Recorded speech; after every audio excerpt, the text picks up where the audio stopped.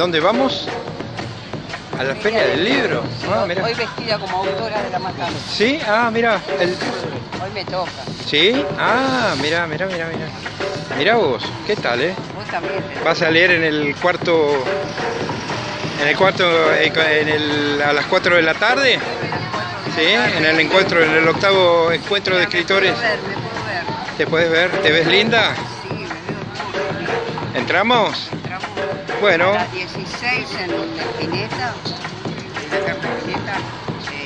Encuentro-. Muy bien, bárbaro, bárbaro, muy bien. Entramos, entramos. Entramos a la Feria del Libro, dale.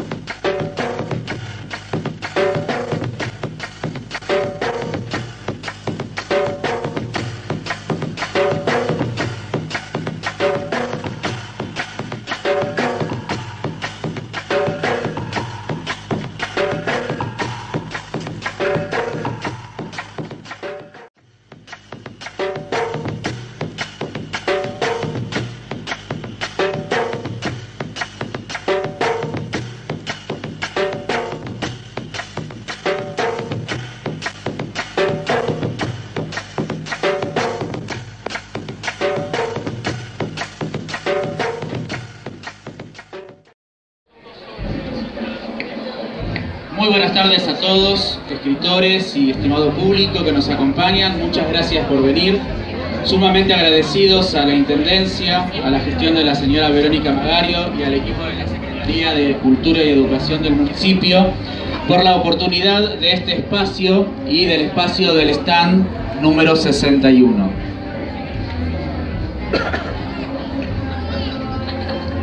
Un poeta irradia luz en todas las dimensiones. La eternidad queda en sus letras que jamás son póstumas, sino latentes en cada página. Se aviva esa llama cada vez que un lector internaliza la magia de lo escrito por él. Este, nuestro encuentro 2017, nos convoca a una ronda de palabras que une las dimensiones entre el cielo y la tierra. Vaya entonces la dedicación a todos aquellos que desde arriba siguen escribiendo versos a las estrellas. Elena Irene Gardés, María Angélica Maldonado y Pedro Chapa, y los 30.000 veces literatura. Presentes.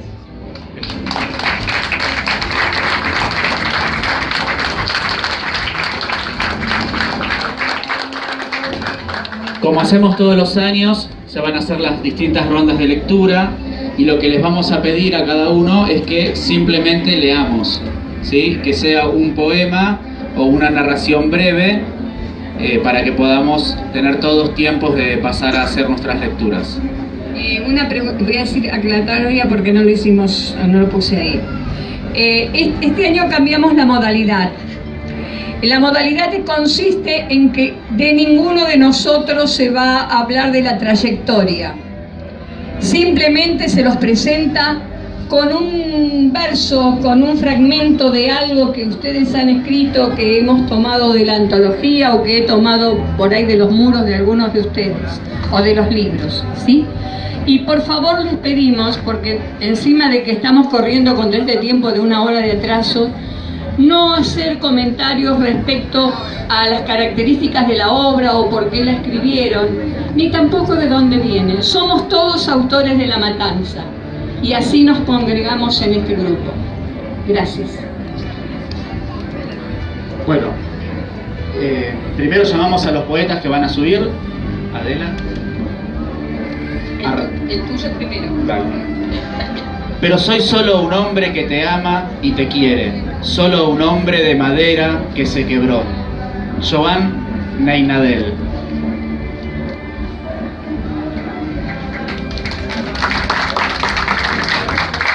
Mi sombrero ha volado con mis pensamientos y un fantasma me acompaña dorado y gris, aunque solo yo lo veo en la ciudad que nací. Alberto Oris, ¿se encuentra?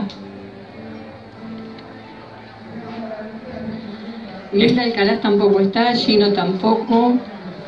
Eh, tendrías que... Eh, bueno, Anora. Somos todas plenas, somos todas libres, las palabras valen. Nora Coria.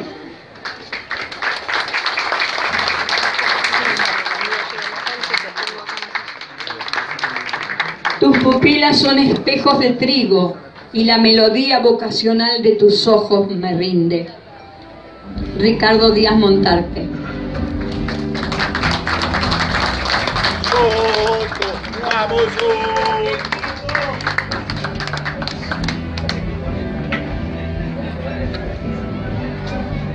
Julián anotar, va a llegar él en un momento.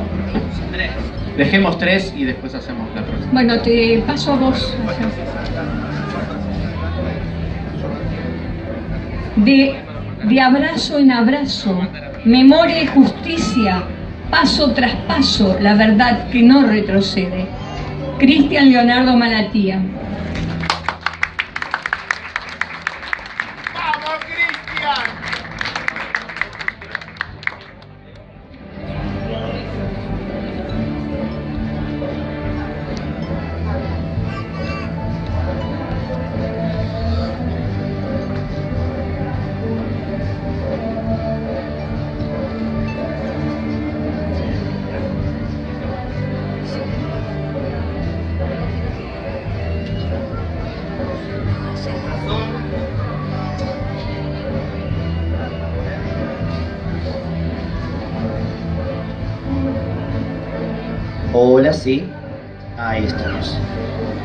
A todas ellas, razón de mujer. Qué impotencia me da cuando te ves asustada, cuando te dicen de todo y no te ven a la cara. Qué impotencia me da cuando te quedas callada y una gota es el golpe que refleja tu alma. Ni una más, ni una menos habrá jamás quien pueda pagar el grito del silencio. Gritar por las que puedan llegar y por las que estuvieron gritar. Gritar por un cambio en la voz y por lograr de en valor a la mujer sin dueño. Qué impotencia me da si la angustia reprime, si resulta que un algo no se puede ocultar. Qué dolor insufrible ver el crimen de tantas que sufren el maltrato por tener que callar. Es la voz de una niña, el grito de la mujer, que resuenan las voces de cada una y de todas para decir, ni una más, ni una menos habrá, jamás quien pueda pagar el grito del silencio. Gracias.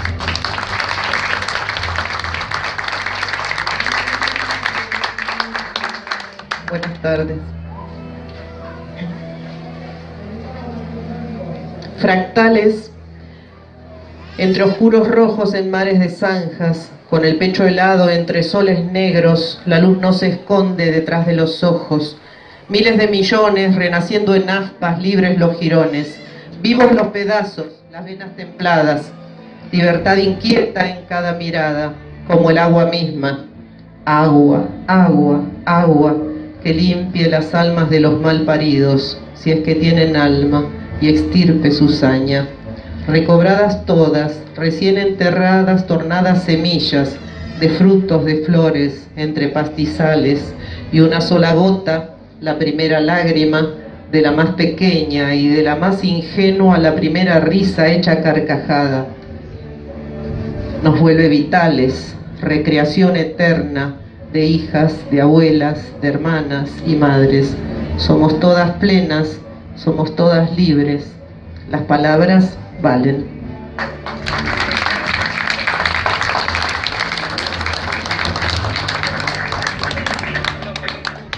Emperatriz de la ternura.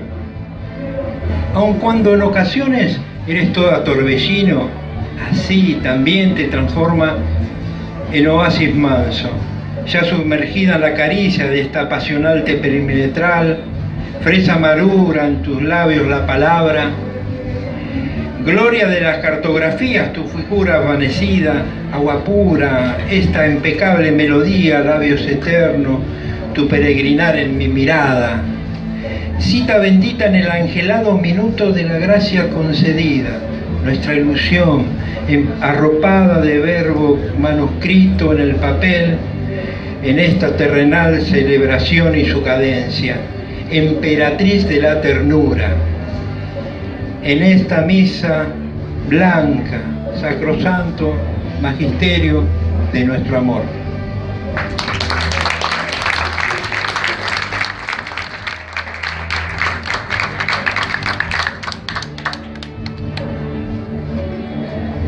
En estas tierras aún amanece temprano bajo el paraíso y el canto de un gallo despierta el cacareo y el ladrido del perro. En estas tierras la tarde se pierde en la siesta, el suave viento desliza las ramas de un árbol contra la ventana y el carro del sodero resuena en cada esquina de una huella profunda. En estas tierras descansan mis muertos, antepasados de mi historia y de la historia de mis abuelos. En estas tierras mis tías tuvieron sueños, felicidad lograda a sorbo, amores duraderos. En estas tierras resurgen los recuerdos del juego de un niño, de la mazorca pelada en el gallinero, del calor aplacado en el bombeo del agua y un tobogán que aún desliza mi memoria hacia el pasado. Muchas gracias.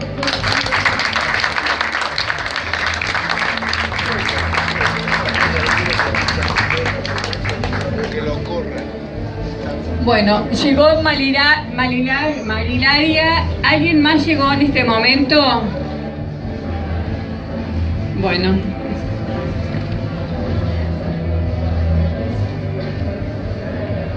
Bueno, vamos a comenzar. Ella dijo, Sur es el pie donde Argentina, la tan amada, soporta el peso de sus provincias. María Hilaria Esteves. Por favor.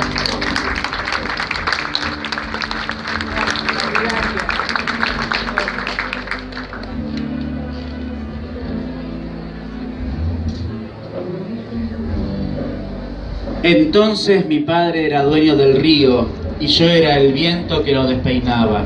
Elizabeth Molver.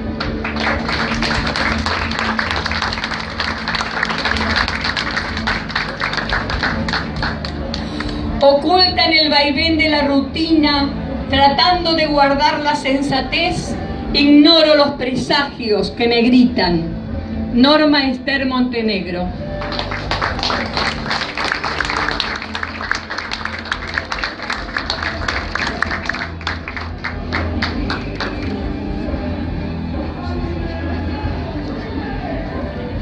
Son cosas que tiene el amor, juntar almas equidistantes, confirma la teoría del amante en todo momento. Amor es sufrimiento por un poco de placer. Sergio Martín Pérez.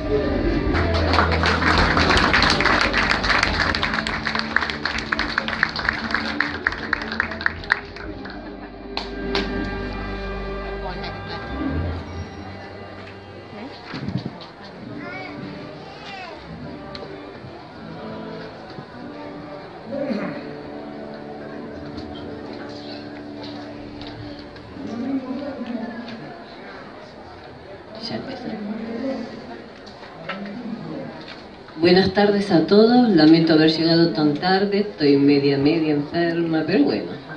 No quería faltar a la última cita acá con mis compañeros hasta el año que viene, si Dios quiere que nos volvamos a encontrar todos. Así que les voy a leer este, Ave sin rumbo.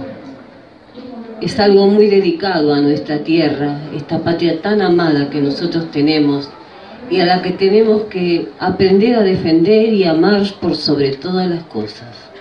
No es fácil vivir en un país, en cierto modo, con la paz, el amor y nuestras pequeñas luchas internas que tenemos, pero somos un país hermoso. Aves sin rumbos, aves sin rumbos a las quebradas, bagajes llenos de sueños truncos y de esperanzas hechas migajas. La urbe joven, la sangre nueva. Parten cargando en sus espaldas las ilusiones que se revelan contra promesas que no se cumplen. Emigran sus ansias hacia otras tierras, que otro la Argentina abría sus puertas, para que entraran los que sufrían las tantas guerras y sus miserias. Hoy nuestra gente parte sin rumbo, no por la guerra, sino por muertas las ilusiones, que aquí no tienen un porvenir. Madre Tierra, Argentina, levanta alto tu vuelo, extiende tus alas anchas y cubre todos tus puertos, para que nadie se marche en busca de otro horizonte.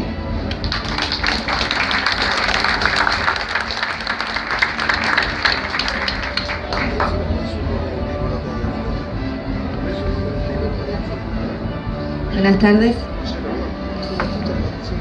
Entonces este es el poema de tus manos, de la pasión de tus manos, que llevas tatuada los lazos con papá, las manos que me dabas con caramelos tesoros de la piñata o para cruzar la calle, la mano que guardabas en la mía, la que me acariciaba el pecho, el poema de tu mano que abraza, que acaricia cabezas despeinadas, a futuros hijos que ya te esperan, que cerrarán mis ojos, que abrirán mis palabras y volarán montadas en los pájaros de la memoria azul.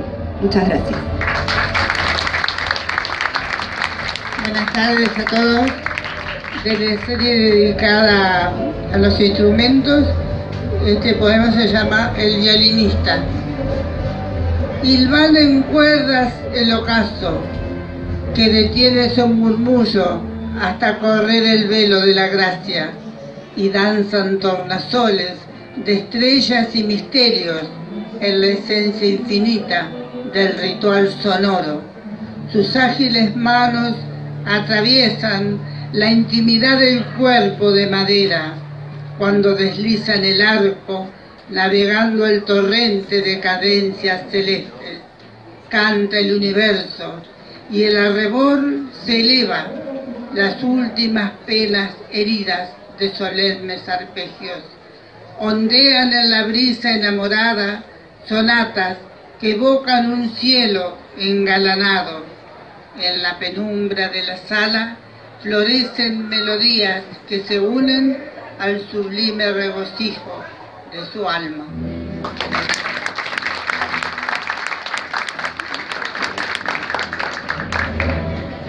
Buenas tardes. Con ella. La mañana se despertó llorando, gris, celosa. No piensa en otra cosa más que desahogar su pena, triste condena. ¿Amainará su llanto más allá del mediodía? Quizás llore todo el día. No puede obviar. Amargos pensamientos, doloroso acontecimiento, ausencia, hastío, asume el desafío de compartirse sin querellas. Si tan solo estuvieras conmigo, pero hoy, hoy te toca con ella.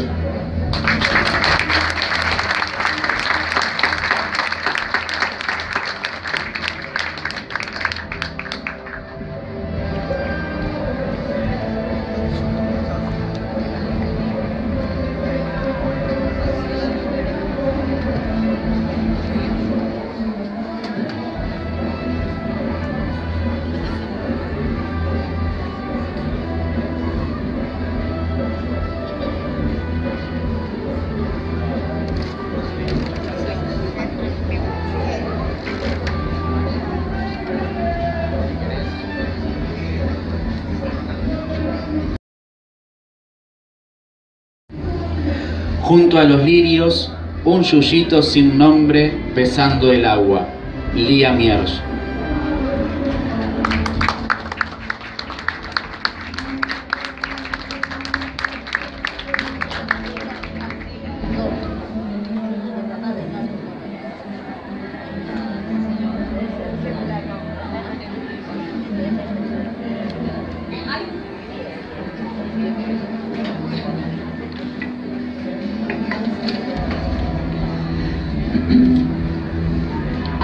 Placer oculto en pasar y ver un colectivo sin ventanas, con gente apiladas.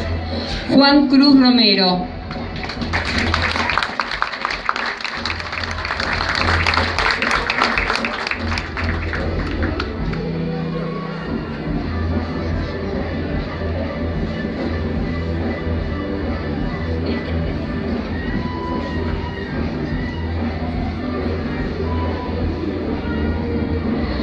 Si aún te asisten razones para querer, ámame para volver a la vida.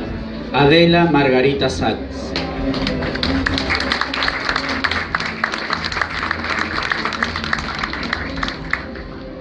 Sos la mujer más dulce, esa que tiene un perfume en cada una de sus palabras.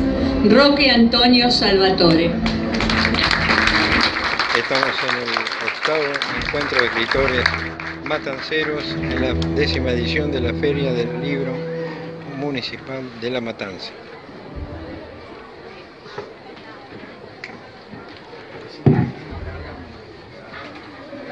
Organizando la nueva mesa, mesa de lectura.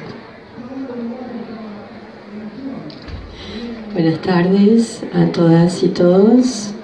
Soy Lía Miersch y para los que no me conocen me dedico casi casi exclusivamente a escribir haiku.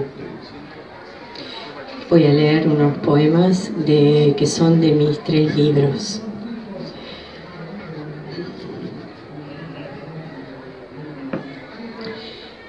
Cae una hoja, la noche tan callada se acuna en ella.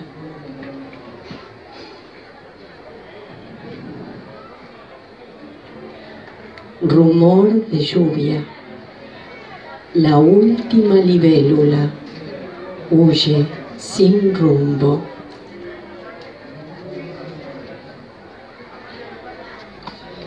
Olor a cebo peina el viento sus crenchas en mataderos.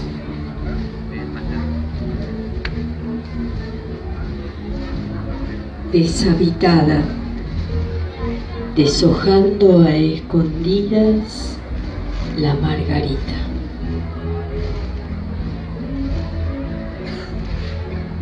Ciudad oculta, muchedumbre de sombras al mediodía.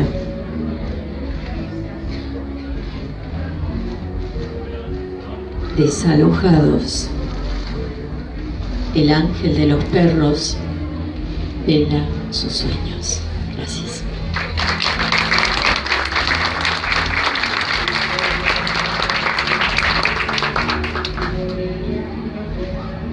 Miguel Ángel.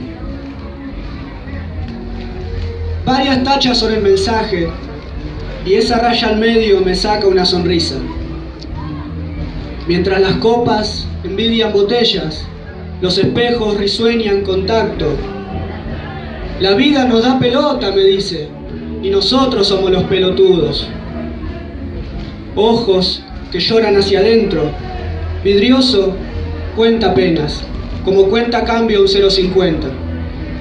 Ella se portó mal, se fue y encima la visitan. Viste la vida, qué sé yo. Una lámpara permanece encendida sobre las frutas. Simular la noche debe doler menos. Si no, ¿cómo explicar cada vaso? De a rato me charla. Vengo a este bar desde que tengo memoria. Le compro unas medias al pibe ese, porque hoy cobré mi jubilación, dice. Incierto. Y la tarde juega sus primeras sombras. Los árboles ya saben, se pone un poco pesado. ¿Vas a salir al mundo? Pero ahora yo me estoy haciendo pis.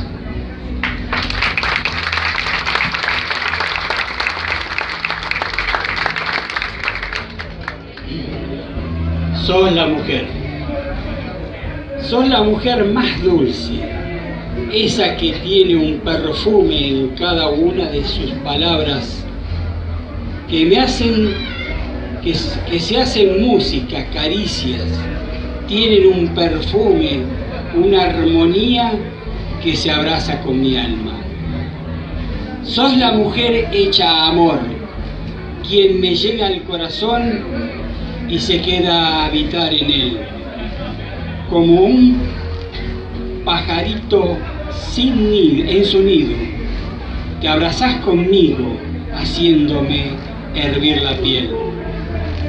Sos la mujer que tanto, con, que todo lo conseguís, porque sos hermosa, simple, soñadora y realista. Me conoces como a vos misma. Sabés, sabés curar mis heridas, sos un ser increíble. Sos la mujer que amo, con todo mi ser. Te amo porque descubriste en mí un hombre totalmente nuevo cuando creía que era viejo y que ya no tenía derecho a ser feliz. Muchas gracias, Roque Antonio Salvador.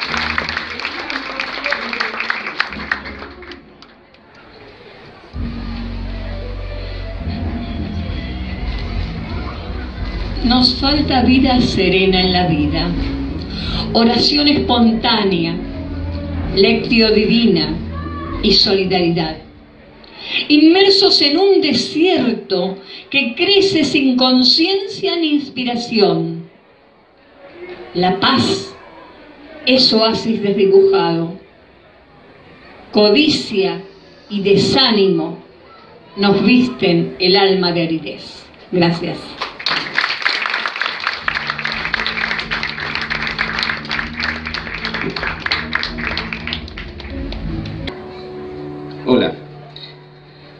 Que la memoria no traicione a los de arriba, a los de abajo y los lleve a olvidar.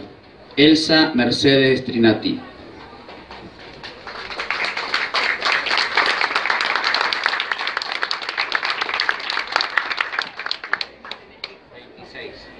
Veintiséis.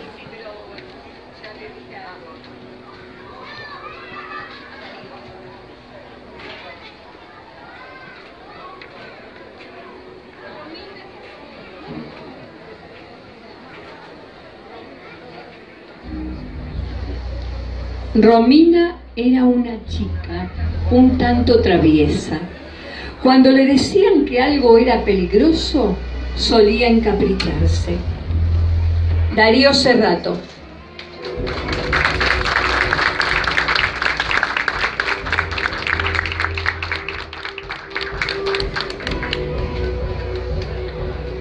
Y nacimos mujeres con ovarios bien puestos, para gritar lo que sentimos, sin miedo.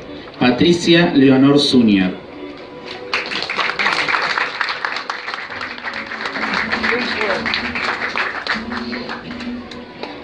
Nostalgia, no tristeza de la gente.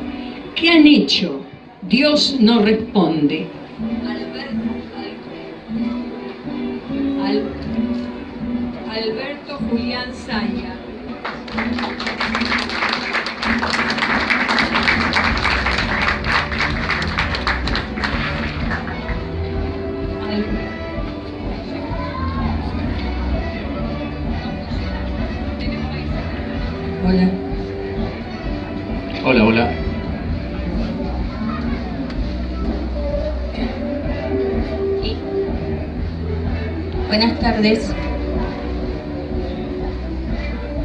La otra orilla. Ráfagas irascibles arrastraban cualquier cosa y un viento arrancaba las hojas de los árboles. Apenas podía sostenerse, pero recostándose cada tanto contra las paredes, comenzó a caminar hasta que halló un reparo. Desde ahí observaba. Algunas personas retornaban a sus hogares después de un día de trabajo. Recordó noches de tormenta cuando llegaba a su casa después de la fábrica, cuando lo recibía un olor a guiso de lentejas o de polenta con tuco. Hacía tanto tiempo de eso. Había olvidado cómo era despertarse una mañana de domingo, acurrucándose con su pe pequeña hija de cachetes rosados, tan suaves, y cómo era levantarse, desayunar con su pareja y proyectar la semana. Demasiada era la distancia entre esa noche y aquellos tiempos. Ya no recordaba costumbres familiares, abrazos, caricias, el aroma del jazmín cuidado por su madre, el, cordor, el color de los malbones del jardín acurrucado contra una vidriera, lo venció el sueño, hasta que fue despertado por unos pasos con fuerte taconear. Sintió frío, hambre, con dificultad se incorporó, miró hacia uno y otro lado y comenzó a caminar hacia la estación de servicio. A mitad de cuadra le pidió un cigarrillo a un joven que pasaba. Se frotó las manos y siguió. El chico de la cafetería salió a darle algo de comer, como tantas otras veces, para que no entrara. Deambuló por las calles y por fin llegó al barrio donde conseguiría lo habitual. Los conocidos hicieron una vaquita para el vicio. Esa sería la última vez. Cuando despertó en la cama del nosogomio, pasado el delirio y las alucinaciones, se halló entre extraños. Cerré los ojos y sintió que un muro gris lo rodeaba. Oyó voces y campanadas tuvo la sensación de estar en una canoa navegando un río de aguas claras. El viento suave acariciaba el rostro. No podía dejar de recordar en ese instante la carita de su pequeña que desde hacía mucho tiempo había dejado de ver. Remando como pudo, comprendió que al fin había cruzado la otra orilla. Muchas gracias.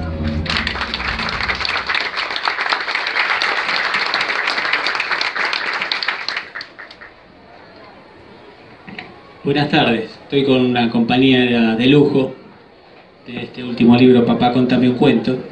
Ella es la ilustradora y le pedí si podía acompañarme. Me dio el honor de estar acá conmigo, así que estoy muy contento.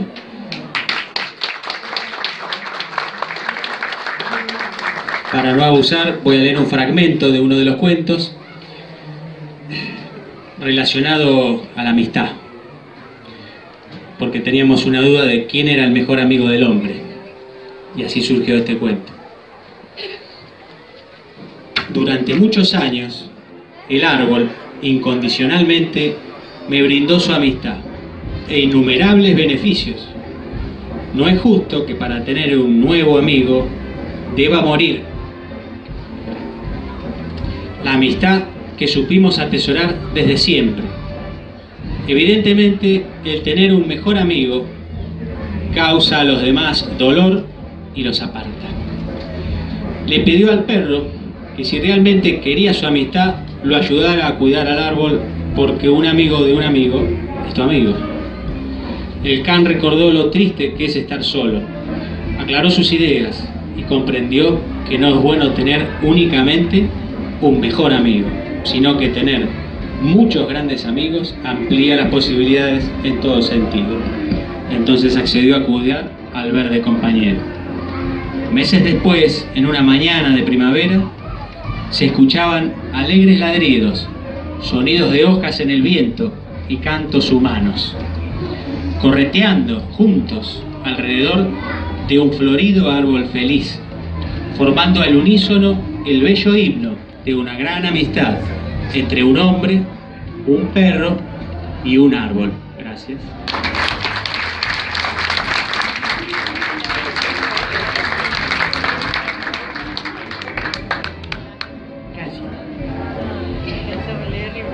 Y nacimos mujeres semejantes a la tierra fértil, que engendra gemilla y al mundo da fruto. Y nacimos mujeres sintiendo dolores de parto, defendiendo con garras y dientes cuando con nuestros hijos se meten.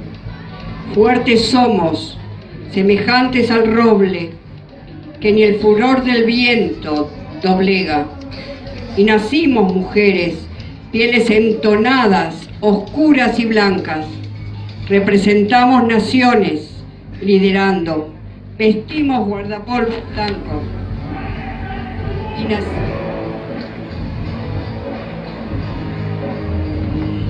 y nacimos mujeres, con ovarios bien puestos, para gritar lo que sentimos sin miedo. Y nacimos mujeres, para que las vivas que aún hemos quedado, seamos voz de las que ya no las tienen, porque se las arrancaron abruptamente, a golpes, quemándolas, injuriando su dignidad, tajeando impiadosamente su existir, hasta yacer desangradas de dolor. Y nacimos mujeres, algunas luciendo pañuelos blancos, reclamando justicia, otras pidiendo libertad por las que encarcelan injustamente. Y nacimos mujeres, cada día nacemos y luchamos, cada día morimos, pero resurgimos por siempre mujeres. Gracias.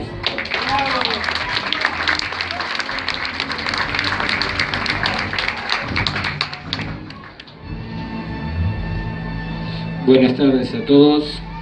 Mi nombre es Alberto Julián Saya, soy de la localidad de Isidro Casanova. Voy a leer una poesía pequeña.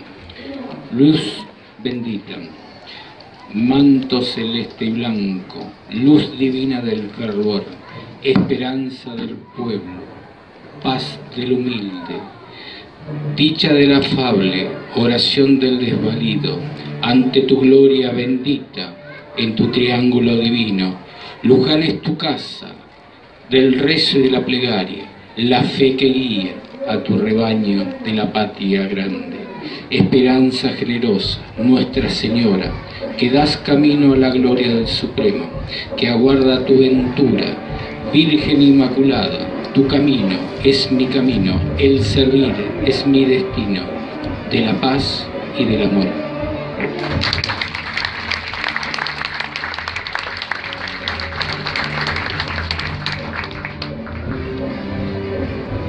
Estamos en la Él dijo, las mañanas de mi infancia tenía una luz que hoy no consigo en ningún lado. Diego Echeverría. Estamos en la décima edición de la Feria del Libro de la Matanza en la primavera. Una rosa en lo alto detrás del muro, rojo intenso, el sol abre sus pétalos. Verónica Zaino.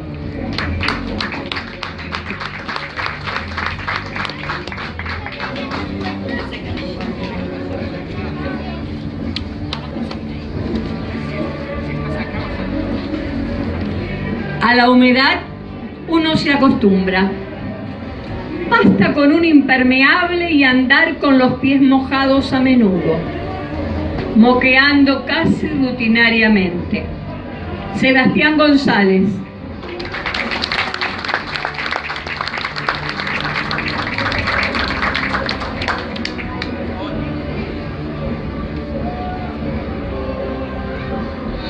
Oh chocolate, chocolatín, saboreado en la infancia, se deshace en mi boca y mi boca en recuerdo. Teresa Inés Vilas.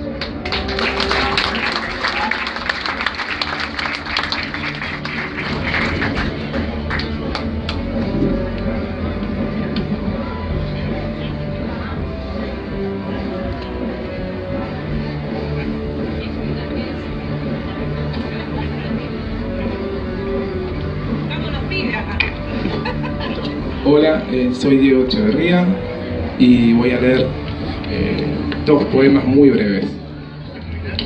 Sabemos que el Maldonado es un arroyo que está bajo la avenida Juan de Justo y que Santiago es la capital del país trasandino. Pero Santiago Maldonado, ¿dónde está?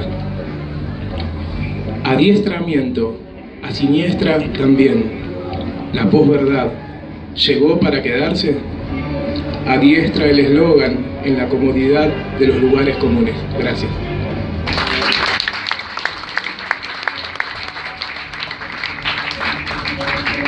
Buenas tardes. Eh, voy a leer dos poemas eh, cortitos. Comprometer, el poema, el sueño, el salario, las horas de nadie, solo mías, en mis manos, mis hijos, tus hijos, nuestros hijos, la mascota, plantas, tu hermano, el mío, el nuestro, la grieta, el llanto, la vida, tanto para crear, igualar, amar, sin rico, sin pobre, sin timbre, respeto, compromiso, educar y comer, sanar y jugar, vivir para ser siendo, palabra, democracia, alabanza del amigo que solo la calle cobija.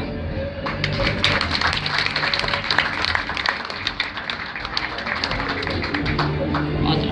Sagrada costilla, cobija las tristezas, paños tibios curan la herida mortal de la sombra, posición fetal, acuna la lágrima de tu fracaso, tu culto de cenizas, tu puñal abierto, tu perdón que no cabe en ningún agujero, averno de culpas, crimen sin mueca, libro de la vida quemado.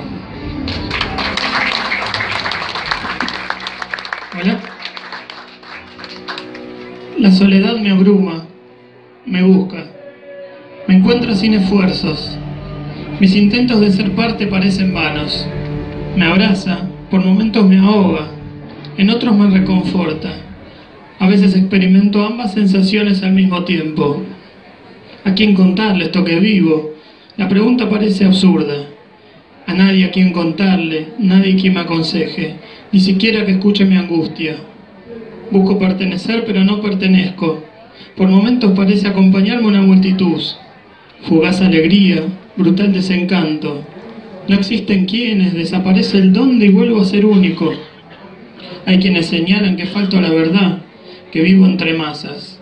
¿Podré ser tan ciego? ¿Es que acaso soy el insensible que nunca quise ser? Tal, tal vez puede que tengan razón. Siento el calor de las carnes, pero no las puedo ver. No puedo rozarlas, aunque apenas lo intento. Ese calor me acompaña menos de un instante. Me abandona, me deja helándome hasta adquirir la temperatura estándar de la soledad. Esa que se hace compañera, me abruma, me busca, me encuentra, casi sin esforzarse. Gracias.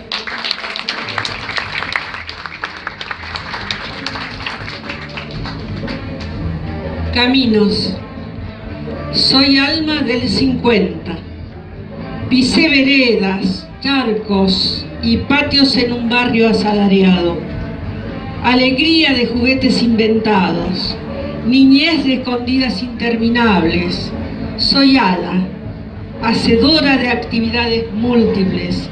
Me caí, me levanté, me partí, viví. Soy defensora de libertades. Soy oídos para el que resiste. Soy soñadora de mundos invisibles. Soy compañera y tengo memoria.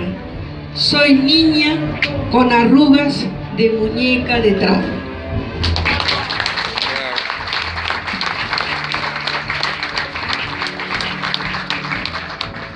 Décima Feria Municipal del Libro en San Justo, La Matanza, octavo encuentro. Mi corazón palpita Matanceros. cada vez más fuerte. No lo podía creer. Comencé a transpirar. Ana Graciela Inconstante.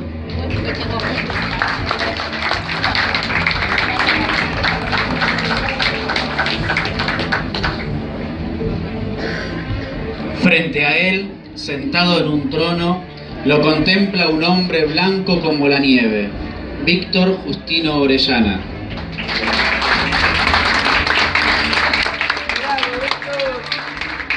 Eso. No tenía fuerzas para cazar. La noche les tiznó las manos. La cara, los cuerpos ya no eran los mismos. Javier Luis Romero.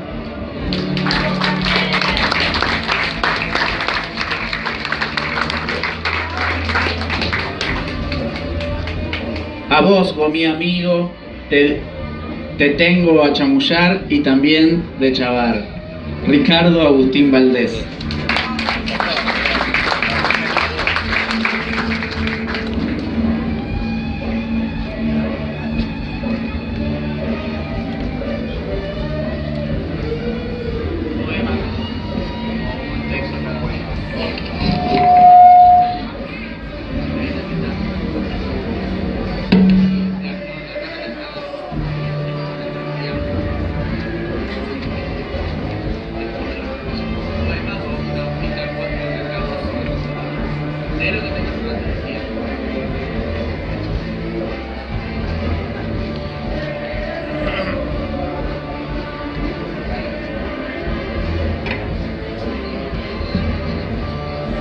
Hola, buenas tardes. Un día abrí mi Facebook, perdón, el título Fe- Fede, el literato. Un día abrí mi Facebook y encontré una solicitud de amistad de alguien que se hacía llamar Fede, el literato. Antes de permitirle ser mi amigo, entré en su muro. Me deslumbraron sus obras. No pude resistirme al asombro, que pudo más, y terminé aceptando. Aunque entre otros, debo confesar que lo primero que dije fue, qué bien estás, papito. No quería perder esa oportunidad. Nos hicimos amigos, charla va, charla viene, algún que otro WhatsApp. Un día me llamó por teléfono para invitarme a tomar un café y hablar de literatura. Y si me permitís, puedo darte una mano con tus escritos, me dijo. Agregó, el martes me entregan un premio en el Tortoni. ¿En el Torqué? Le dije. Se echó a reír. Si querés venir, estás invitada. De paso nos conocemos. Vamos a estar presente algunos amigos a quien te quiero presentar y hablarle de vos. Somos todos del mismo palo. Ese martes yo estaba paradita en la esquina como un soldado. Había llegado media hora antes y no quería que me vieran. De repente lo vio salir del café y me preguntó, ¿se puede saber por qué no entrabas? ¡Qué papelón! Me había estado observando desde adentro, siendo que yo no quería que me viera tan temprano para que no vaya a creer que estaba desesperada por conocerlo. Bueno, en realidad sí. Me tomó del brazo, me invitó a entrar al café. No podía disimular mi cara de asombro. Era la primera vez que pisaba ese lugar. Quedé anonadada. Cuántas luces, cuántas bellezas. Me dijo al oído, ¿querés que nos sentemos cerca del escenario? Sí, respondí de inmediato, pues no quería perderme un minuto de su presentación. Mucho tumulto, mucha gente recibiendo premios, pero no lo llamaban. Mi curiosidad me mataba. Sin embargo, no me animaba a preguntarle. Me dejaron para lo último, no sé por qué será, me dijo. Él sabía, pero como era tan humilde, no quiso decirlo. Alguien le hace un guiño, sonríe, acaricia mi cabellera y dijo, bueno, ahora me toca a mí. Se puso de pie, abrochándose su saco, con una tierna mirada, me guiña su ojo, iba camino al escenario. Una voz anunció, un grande de la literatura está presente. El galardón de oro está muy, muy pronto se estará en sus manos. Poeta, dramaturgo, prositista español. Sí, señores, nada más y nada menos que el señor Federico García Lorca. Mi corazón cada vez palpitaba más fuerte, no lo podía creer, comencé a transpirar, aplaudía como loca. En determinado instante alguien me sacudió diciéndome, deja de aplaudir y levantate, llegarás tarde a tu trabajo. Me sonrojé, esbozando una sonrisa con la cual anunciaba que había sido víctima de un maravilloso sueño. Muchas gracias.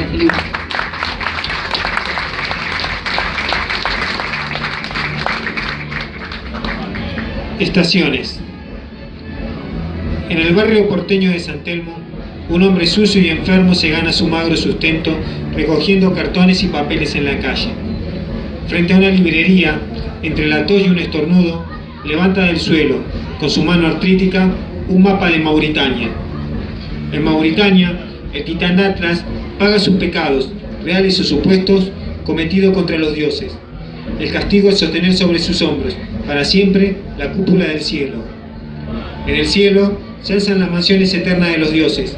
Allí, los despreocupados inmortales escasean néctar mientras escriben en piedra el destino de los hombres. ¿Cuánto ha sufrido aquel pobre hombre el invierno de su vida?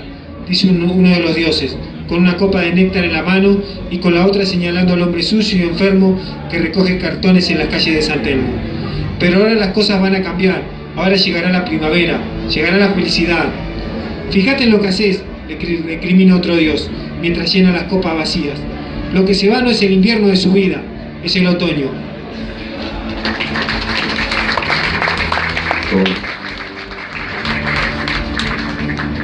El hilo de Teseo, el laberinto de Ariadna. La princesa esperaba al grupo de doncellas y donceles. Uno de ellos sería suyo, de una de ellas su preferida. Ellas y ellos venían temerosos de su destino que los condenaría en el laberinto, a perecer horriblemente. Teseo, famoso por su lírica y su belleza, confiaba que con su voz la conquistaría. Ariadna, la princesa, que podría evitar ser devorado por el temible monstruo. Ella, que ya lo había elegido por su fama, decidió darle un ovillo que atado a un extremo de la roca de la salida, se lo traería de regreso. El héroe caminaba por el laberinto y trocó su cobardía por valentía, al sentir que la más bonita doncella de la partida se le aferraba temerosa a su cintura, rogando su protección. Esta más bien se había percatado de los favores de Ariadna y no se le separaba. Así, Teseo organizó los grupos y los dividió para buscar una salida, sabiendo que nadie lo lograría.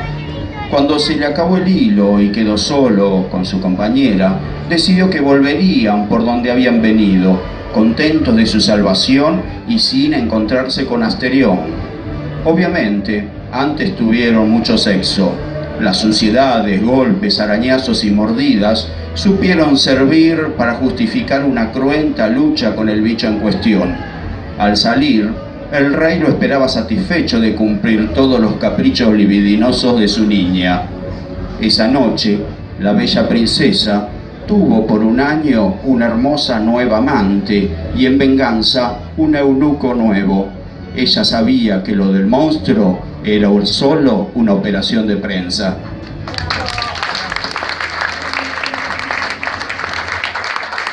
Buenas tardes, soy Ricardo y hago los poemas, pongo Ricardo San Justo, todo junto.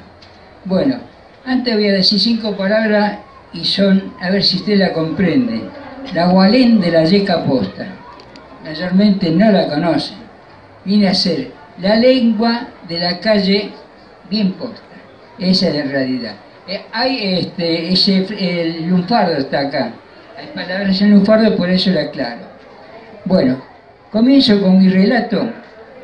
A vos, gomía mío, te vengo a chamullar y también a deschavar porque sé que en tu corazón el tango lo trajeás, pero estoy junando que lo estás olvidando.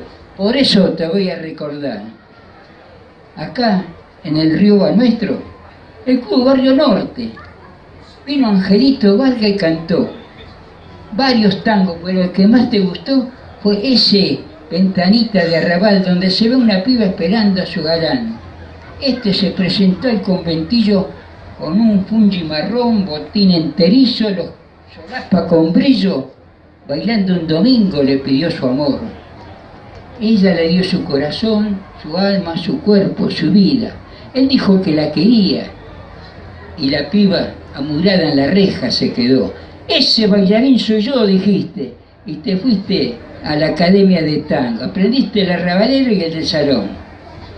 Y volvemos al barrio norte. Y en la ronda de y en la ronda y en la de pista de tango, tú figuras sobresaliste, pero pasaron el el de arrabalero y ahí saliste con una caída, una sentada, una corrida, los ocho bien pronunciados, la quebrada, media luna. Y la sentada fue la figura final. El aplauso de los bailarines alrededor tuyo te emocionó, te agrandaste, te piraste, te fuiste para Troceno, pusiste academia, diste dique y ahí se cumplió lo que vos dijiste. En esa academia diste cátedra mostrando tu danza de bailarín. Así fue como en su confitería de alto vuelo, de alto rango, conoces a la madame con mucho vento.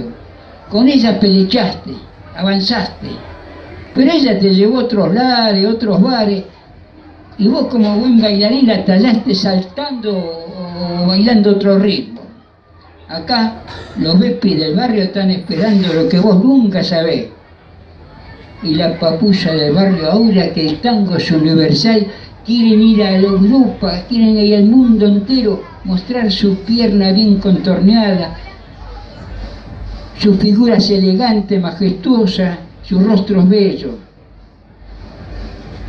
Y lo quieren demostrar cuando lo cantan, cuando lo bailan, porque el tango es y será reconocido en el mundo entero y por él somos reconocidos.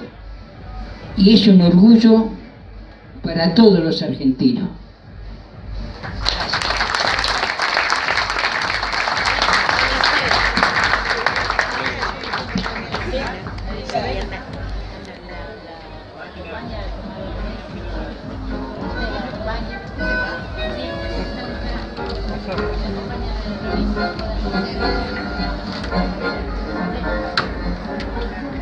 Arcón de recuerdos, trocado en inútil moneda.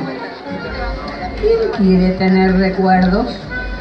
Víctor Hugo Ibáñez. Víctor Ibáñez.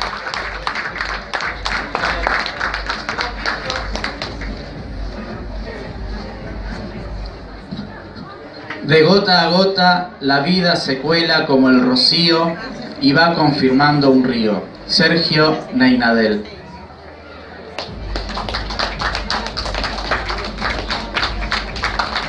¿No está? ¿Estaba por aquí? Bueno.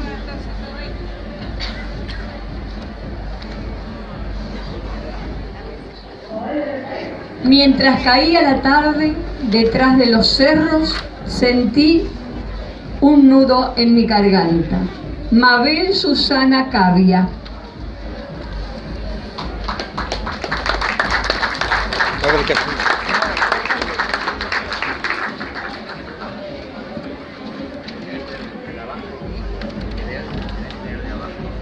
¿Quiere leer acá sentadita mejor? Le ponemos una silla y desde acá.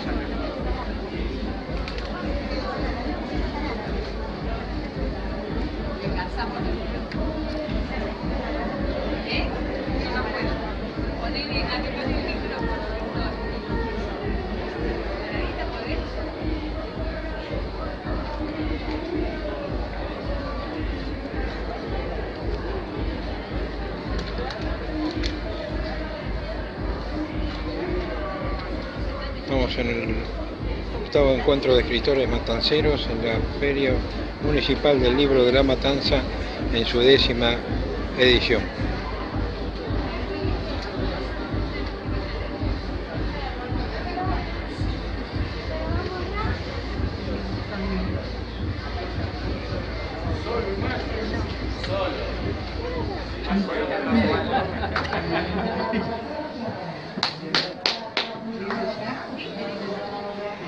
Buenas tardes.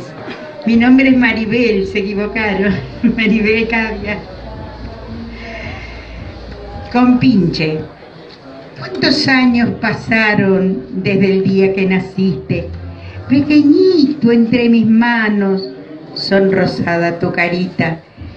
Pero qué pronto creciste. En mis recuerdos quedar tus juegos y tus caricias y los pequeños regalos que de la escuela traía. Convertido ya en un hombre, hijo, compinche y amigo, todo englobado a mi vida. Cuánto valor tiene un hijo. Allá muy lejos el niño, convertido hoy en hombre, lucha y ríe a cada instante, disfrutando su alegría como cuando era un niño. Gracias.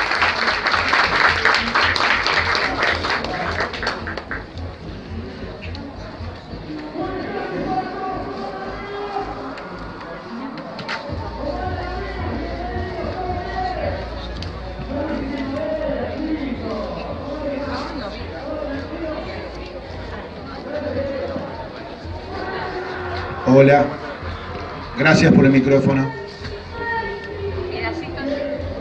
No voy a decir nada porque si no me van a matar. Soy tan malo que me hicieron subir solo. Y no me van a hacer callar. Oscuridad. Realmente les aseguro que es totalmente oscuro lo que veo. Pero en esa oscuridad les aseguro que hay algo vivo. Y en eso vivo yo trato de vivir.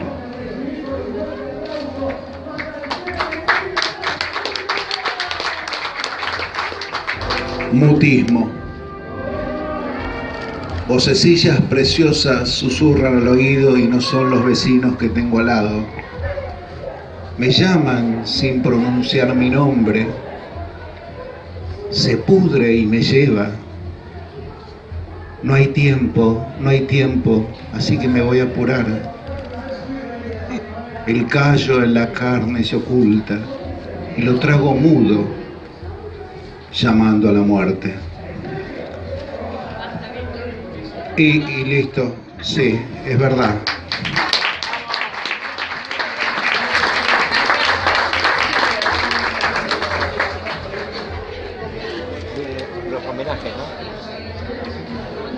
Empieza en, este encuentro de escritores matanceros el, segmento de homenajes a nuestros compañeros que han fallecido recientemente.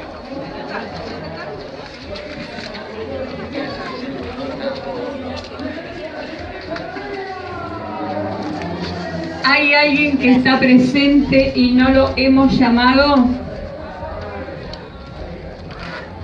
Alba Murúa, Alba Murúa, Ahora, eh, ahora vamos a hacer, eh, vamos a hacer, no, lo que estamos haciendo pasar primero son los autores que estuvieron, participaron de la antología y los que están de alguna manera en el grupo. Ahora vamos a nombrar a los que faltan, nombrarlos nada más. Vamos a hacer el acto de homenaje a nuestros compañeros y luego, si no nos desbordan de acá, vamos a trabajar con micrófono abierto. Entonces van a poder leer los que ya leyeron si quieren volver a leer, los que están como público y quieren acercarse a leer algo, ¿sí? Ese era el fin. Los que trajeron un texto más extenso que lo que estaba permitido también lo pueden leer en esa segunda ronda. Exactamente porque acá el tema era los tiempos encima, imagínense, ah, van a ver ahora cuántos no vinieron y si esas personas estaban presentes no nos iban a alcanzar el tiempo. Yo quiero que comprenda, yo quiero que comprenda Víctor eh, por qué te dije uno solo, este, porque lo que tratamos de hacer es que sea lo más equitativo posible. Inclusive por esa cuestión de equidad, este año cambiamos la modalidad de las presentaciones. Porque dentro del grupo de autores de La Matanza hay gente que tiene mucha trayectoria, ¿sí? nacional e internacional, muchos libros publicados, y también hay otros autores, muy buenos autores, que todavía no han tenido la oportunidad ni siquiera de poder editar un libro y la única participación que tienen es la antología. Entonces, para no establecer como uno de los principios de autores de la matanza hace ya años cuando lo hemos conformado era un grupo abierto, un grupo independiente, un grupo voluntario, o sea, nadie está obligado a venir, un grupo horizontal. Y eso de grupo horizontal significa que acá no hay marquesinas para nadie, para nadie en especial. Todos leemos lo que tenemos, con el mismo tiempo y el mismo espacio tratamos de ser justo desde ahí. Y bueno, y será el público después quien determine quién tiene algún vuelo más poético que otro, ¿sí? Pero como autores somos todos exactamente iguales y con las mismas oportunidades. Voy a nombrar a los autores que sí estaban, pero que por determinadas razones personales no han podido llegar. Alberto Oris, Nilda Alcaraz, Gino Bencivenga, Manuel Ramiro Campos, Mónica Caruso, Roberto Cisterna,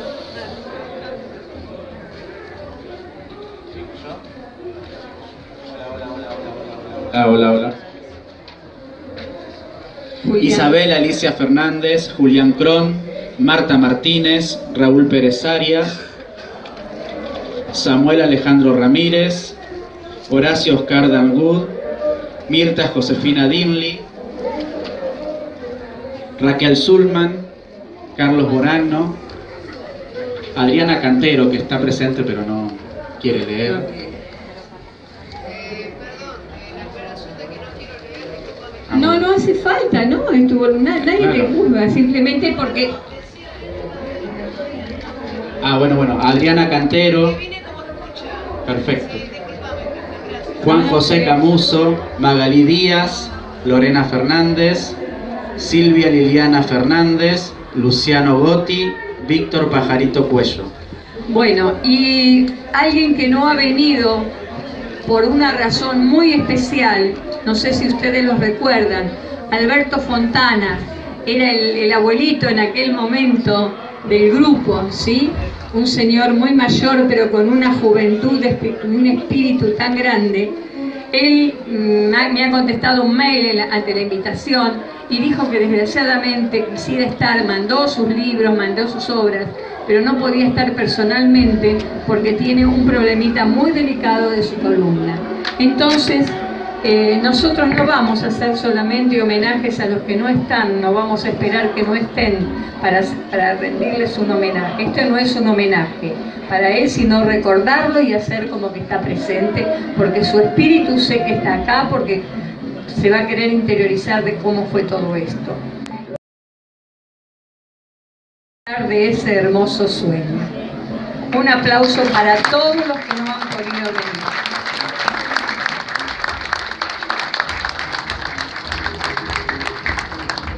Bueno, y la señora Alba Morúa, que bienvenida está entre nosotros. Ahora, eh, cuando terminemos este evento, ¿no? ¿Lo querés leer? Bueno, está bien. Bueno,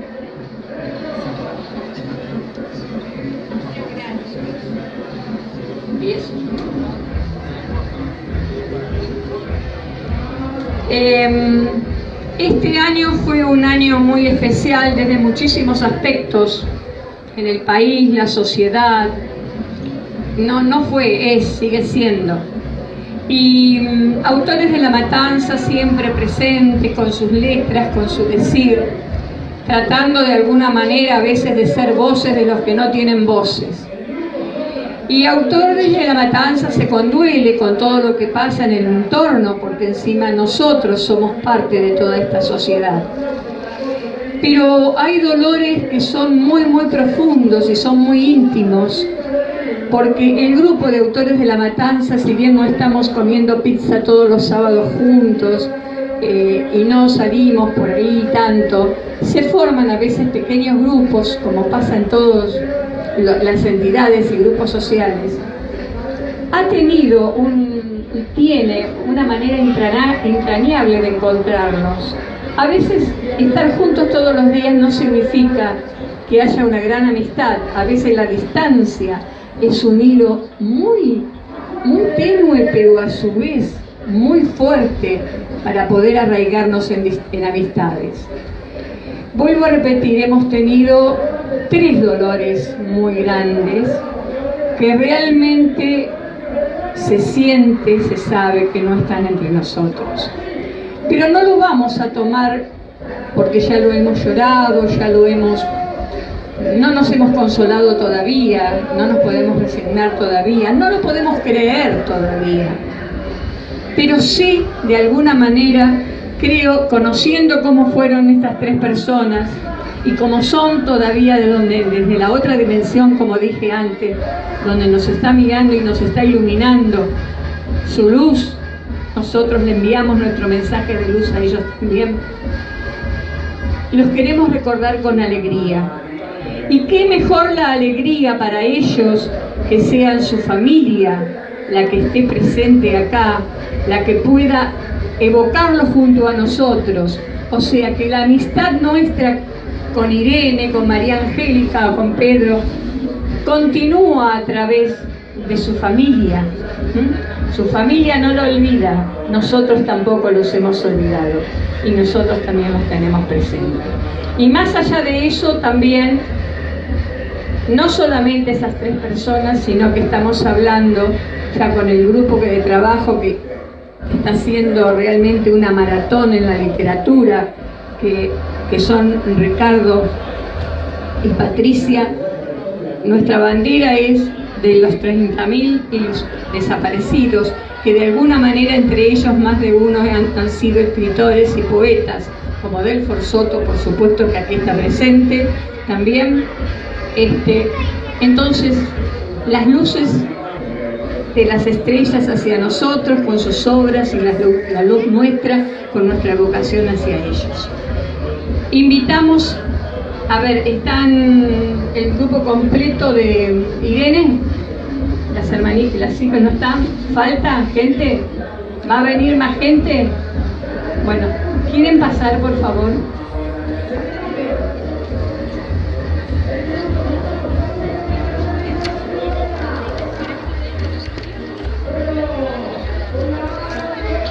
¿Quiere, quiere pasar? Bañar un poquito en esto. ¿Quieres pasar? Pasar, ¿eh? Querés pasar, pasá, papi.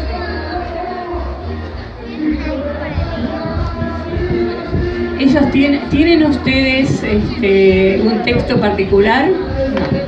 El de la histología. Bueno.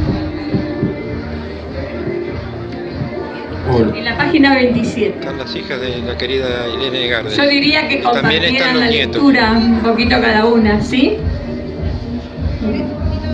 Cuatro versos y cuatro versos. Hola, buenas tardes. Eh, sé que es muy acotado el tiempo y quería agradecer por este pequeño espacio, eh, por este homenaje y por esta oportunidad de poder representarla a ella y lo que fue ella en un poema. La vida tan plácida, tan cruel, tan furtiva, efímera, más Hoy tenemos hálito de vida.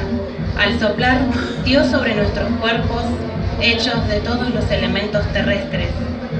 Así hemos cobrado vida.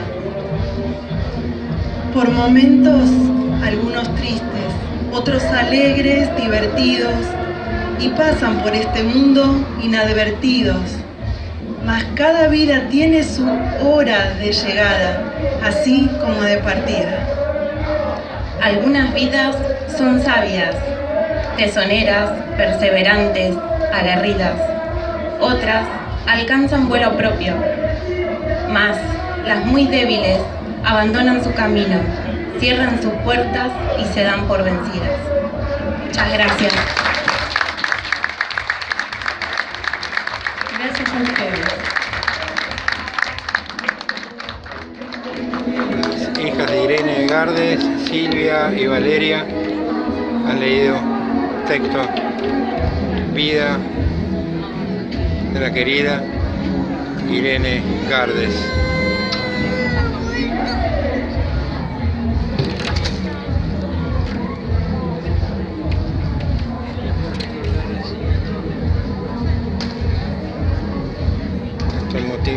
Bueno, de las chicas. También están los, ella está acá los con su alegría, con sus ocurrencias, con su elegancia, con su señorío. era la que mejor se vestía, era la, la que tendría glamour, ¿sí? Y muy querible, muy querible. Un aplauso. También,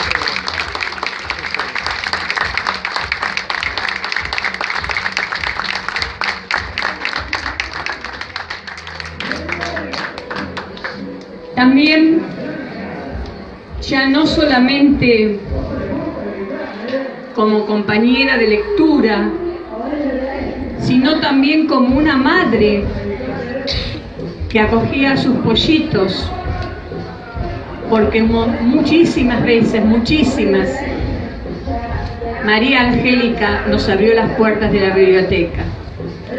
Cuando recién comenzábamos en autores y no teníamos a dónde ir ni para leer ni para organizarnos, estábamos un poco como desamparados en medio del poblado de San Justo, ella, con toda esa dulzura que la, que la constituía, nos decían, chicos, vengan, vengan, la biblioteca está para ustedes.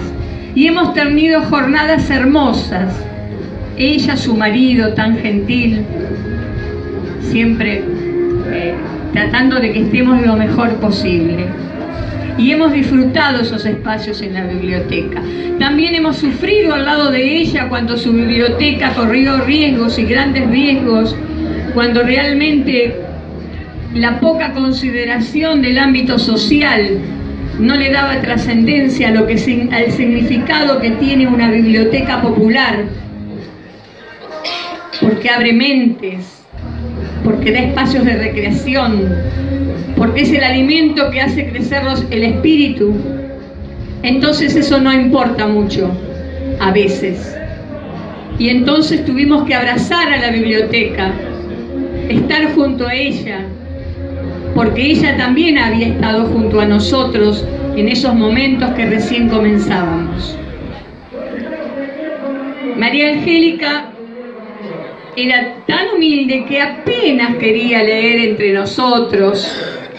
Ella le interesaba más ser anfitriona, ¿no es cierto? Y tratarnos bien con sus galletitas y con que vengan chicos, vengan chicos, que es una alegría. Pero hoy también la tenemos que reconocer como escritora. Y, y lo reconocimos en vida, por supuesto.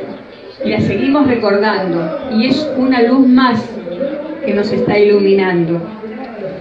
Y esa luz dejó un candil hermoso, que es Paulita.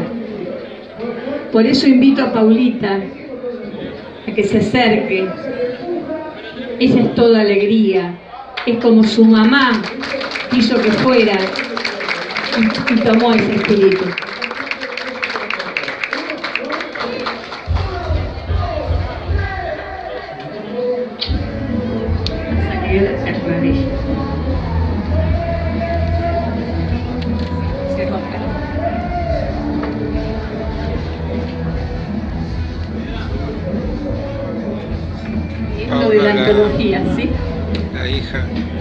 Hija de María Angélica Maldonado, esta querida compañera, presidente.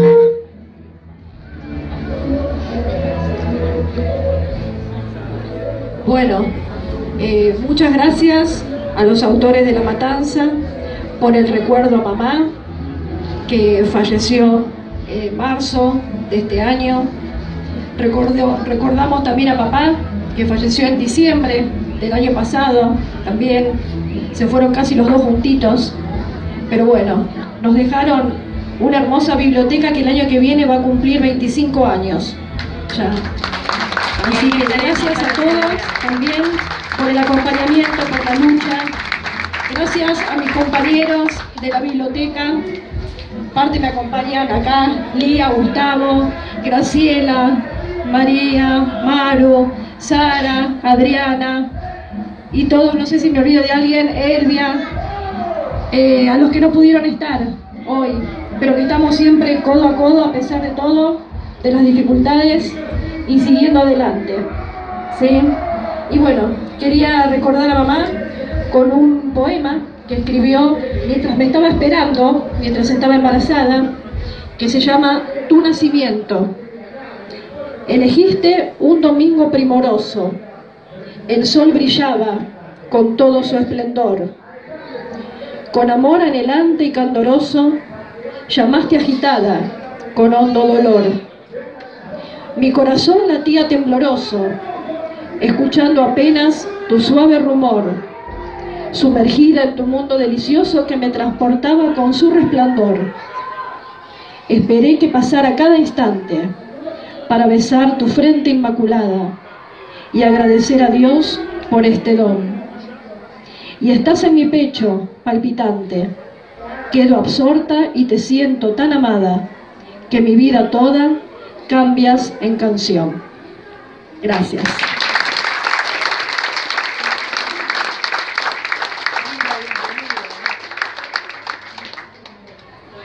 Muchísimas gracias.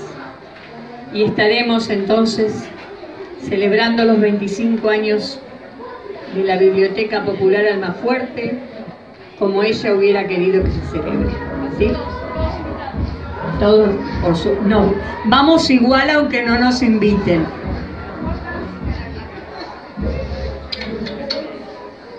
Eh, la biblioteca, por el que no sabe, estamos en Villa Constructora, en la calle Zarratea 4267. ¿sí? Ahí igual estamos en el stand 58, todas las bibliotecas de La Matanza ahora participando de la feria. ¿sí? Gracias, gracias de nuevo a todos. Gracias Paula, a besito. Paula, la hija de María Bueno. Angélica Maldonado. y el otro autor, Pedro Chapa, al cual este, yo personalmente, o sea, he tenido poca interacción, simplemente porque no he podido ir mucho a la zona donde él estaba, muchas veces estaba y nos han invitado. Así que acá Elizabeth de alguna manera le va a rendir el homenaje, ¿sí? Porque han tenido en conjunto también este, trabajos literarios. Así que gracias Elizabeth.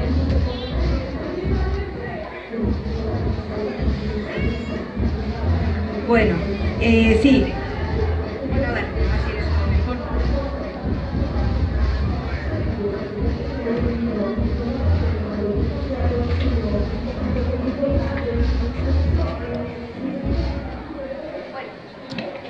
Sí, decir que también eh, yo no lo conocí por, no lo conocía desde hacía tanto a Pedro, eh, sí lo conocí el año pasado con el tema del, del libro Alto Guiso, que algunos habrán visto, esa selección de poetas de acá, algunos poetas de La Matanza. Eh, bueno, y este es otro homenaje que se le hizo este año, que es como también una, revista, li- libro revista literaria que editó Leviatán y es un homenaje a Pedro.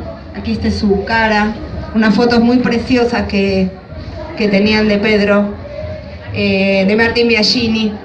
Martín Biagini hizo muchísimo por él este último año, tratando de eh, rescatar, digamos, todas las, todos sus escritos y para que él pueda publicar y, de hecho estaba como proyectado a hacer muchas cosas más.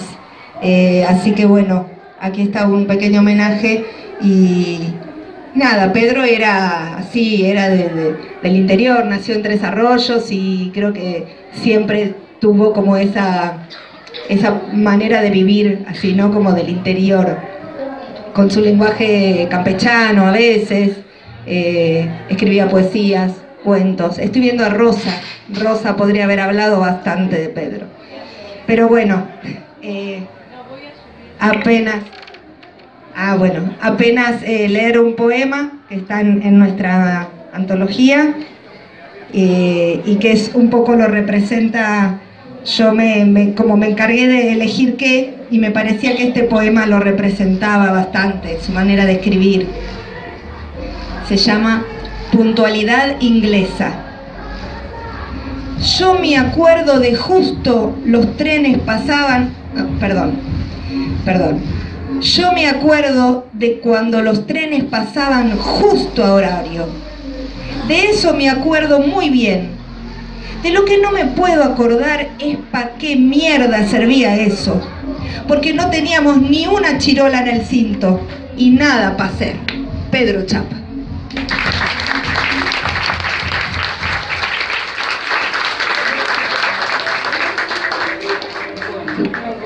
Bueno, muchas gracias. Muchas gracias, Elizabeth. Y vos, ¿te vas? Gracias. Eh, hacerle llegar nuestros saludos si tenés algún contacto con la familia, ¿sí? Eh, y bueno, y que lo vamos a seguir teniendo presente. Bueno, chicos. Bueno, hasta acá llegamos con el... Estoy convocada para hacer el prólogo.